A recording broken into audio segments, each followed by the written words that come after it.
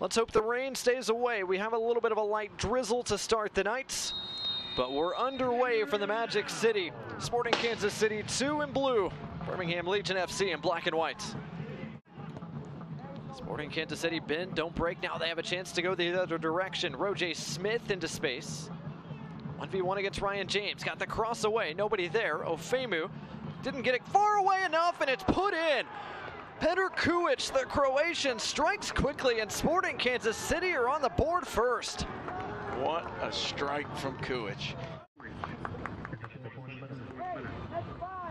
Side netting rocket from the top of the 18. Goals than Coach Soehn would like, no question about it. And yet somehow they've had that fighting spirit that brings them back into games, and they've turned a lot of these positions of being behind into not just points, but into wins. Brett puts it in. How about that for an instant response? Dean to Brett, and it's 1-1. Another look at the goal here. How about that feed inside from Kasim? Great ball in and a fantastic strike from Neco Brett on the turn. Neco Brett doing what he does best, find the back of the net.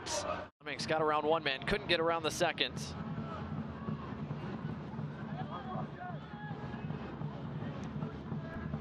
Smith's pass only goes as far as Vancaeyezeele. Got the cross away. Williams flicks it in! J.J. Williams in Birmingham is in front.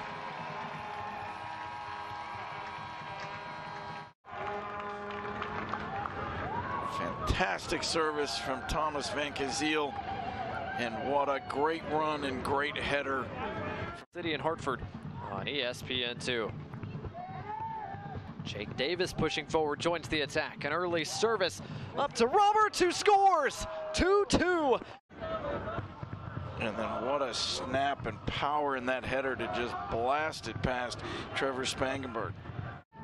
Arivo pushing forward and joining the attack. Arivo over the top, Dean into the mix, but nobody in a white shirt there. Flemmings is here. His shot takes a deflection and it's in.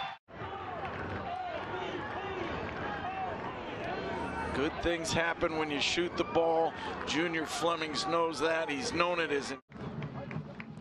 Good ball pressure by Flemmings. He wins it. Flemmings has Asiedu with him and Cervania. Asiedu puts up a shot, scores! Bulldog, the team leader in tackles, and a well-taken finish here. It's Williams all the way. He skies it into the night, and that is full time from BBVA Field. Four goals for Birmingham Legion FC, and all three points for the home side in a 4 2 win.